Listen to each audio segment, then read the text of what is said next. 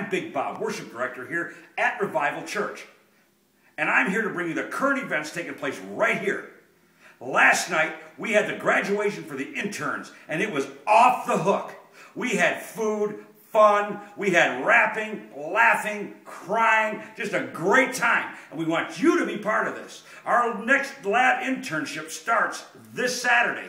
It's $4.99, and if you're a student or a minister, you get it for half price. So log on to revivallab.com. Do you feel insignificant? Do you feel that you are worthless, have no, just no meaning?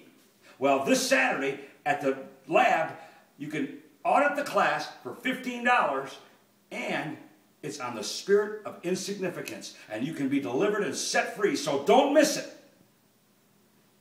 Prayer warriors, we're calling all of you to come forth to pray for John. He's ready to write his new book, The Coming Church, and he needs our support and prayer.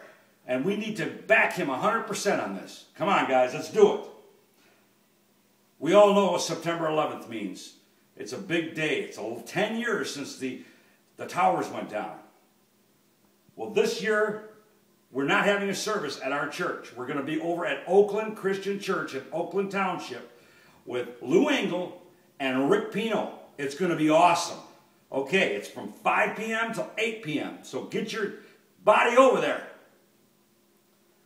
This Friday, we're going to go downtown from 10 p.m. to midnight to the Port of Detroit for our, our prayer time.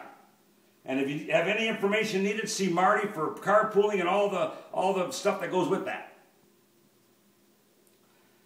This is really good stuff here. September 25th, we're having Catherine Mullins and Brian Simmons, who's right here with us tonight. How you doing, Brian? It's going to be awesome. You mark your calendars, you get your friends, you get everybody you can to get out to that service because it's going to be anointed and it's going to be awesome. All right, well, that's all I got for today, so I'm here to check out right now. Goodbye.